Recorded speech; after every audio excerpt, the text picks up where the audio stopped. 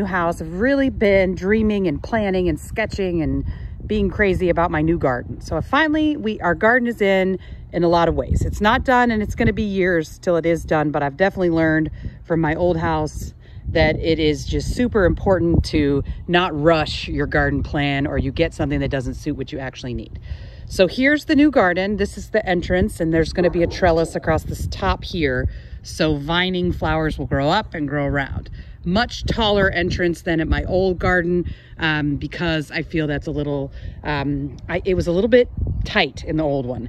This space here is also wider so you can really easily get a wheelbarrow in, uh, which is something we couldn't do easily at our old house. This is a greenhouse and then this is a one car garage shed and then out here are the dogs. Currently this shed is just used as storage for um, miscellaneous crap.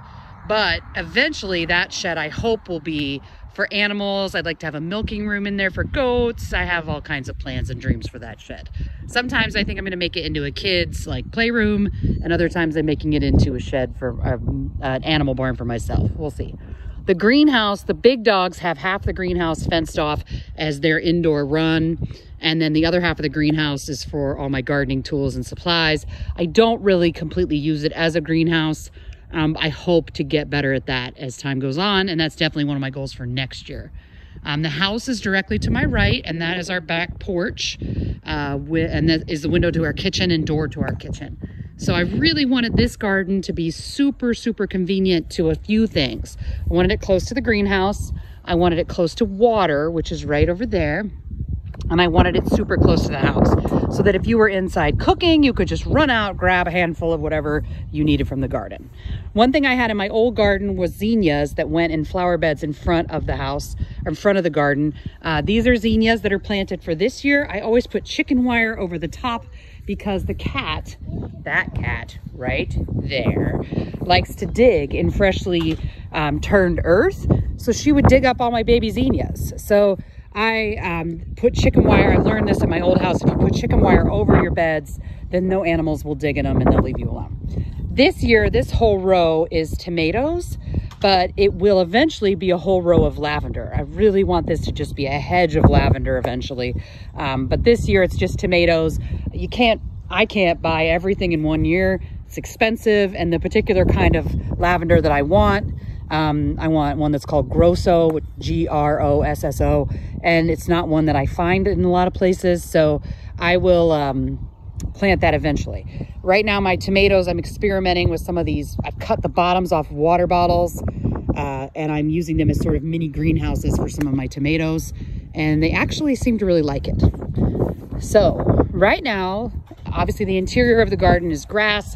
Eventually this will be, I don't know, mulch or maybe rock. It was rock in my old garden. I have a little rainbow mailbox that we painted years and years ago that I use for garden tools, little things that I want close in the garden. Right now I've got radishes, we've got lettuce, actually I think that's spinach. I've got basil, we've got some green, those are gonna be purple green beans coming in back there. Right now you can see I'm starting to fold up part of the um, chicken wire. Sometimes it's harder to um, sometimes it's harder. Sometimes I just let the plants grow through the chicken wire and I don't ever take it up. And sometimes I kind of take it off in phases. So I've been taking it off, but then you see I throw a bunch of sticks on the ground. So she doesn't want to dig around things. We'll see. She's, she varies on how she likes to do this. This is all lettuce in the front. This is cilantro in the middle. There'll be carrots all along here. These are just some flowers for color. Whenever I buy flowers, I always cut the top flower off and then the whole plant will go much better over, uh, you know, have better blooms, but it doesn't look pretty to start. And then um, peas that'll climb up the fence. On this side, I've actually got some grass that I use. I always use cut grass as mulch. So I've got flowers over here. Um, it'll be carrots all along here, and they're actually the multicolored carrots. Because this bed is deeper than my other beds, it's a great bed for carrots, I think. This is my first year for this with this garden, so we'll see. I've got beets in the middle, and then the bigger green ones are uh, broccoli. There's in the back, I've planted um, summer squash, and then I've got uh, lettuce over here and spinach back here. I plant things very close and take up every bit I can. Got my rain barrel here that drains off of my shed. And then I've got an overflow bucket, so I catch some of the overflow when it does rain. This is a compost bin. Uh, there's cantaloupe gonna be there, and then all peppers along here. I planted way too many spicy peppers. Augustus wants to say hello. Augustus, say hello. Say hello, Gussie. Yes, he's happy because I plugged his fan in today and it's blowing on him. Well, Rosie wants to come in too and say hello. Uh, there's no window here. Can you imagine why? Rosie broke it. She jumped on it, pushed it out, and it shattered in a million pieces. So that, uh, yes, she was not hurt. So there, um, a hummingbird feeder here. There's a heirloom tomato, a, a, paste heirloom tomato there. Eventually there'll be a gate that goes right here so I can get into the dog pen from this side. There's a gate on the other side. I just like having access to them. Um, and then this area right here will all be fenced in for them um, in addition to what they've already got. I've got green beans that are coming in right here that are gonna climb the fence this year. Heirloom tomatoes here and some carrots. That grass is sprinkled really thin. I've got a really thick, huge pile of grass right here. And underneath it is all, that bed is full of soil. Um, I just haven't decided quite what I'm gonna do in here yet. I think it's gonna be watermelon. Um, and then over here, I've got rows of carrots.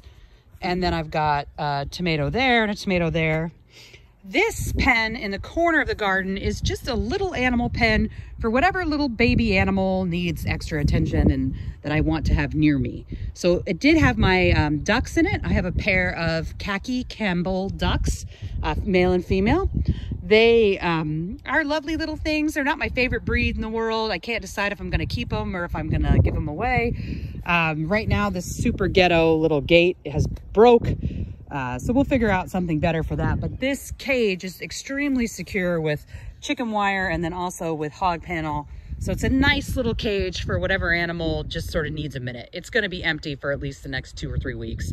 Um, I don't want anything in it for a bit. The ducks pooped all over it, so it needs a break. Otherwise, it'll get smelly. There's going to be green beans right here that will go up this trellis all the way. Then there's bush green beans right here. Um, this is more cilantro. We love cilantro. And then a kale. I did buy a big old kale from the store. It is nice sometimes to just have a few that are started and not all from seeds. Spinach is underneath that milk crate. Uh, parsley here. Parsley seeds take forever to come up, so I always buy them um, in plants, and they just seem to come so much faster. And then under here is all garlic. So that's the start of the garden. Look who's in the garden right now. Look who's in the garden right now. So that's the start of the garden for this year. We'll see how it all comes in and how it all comes together.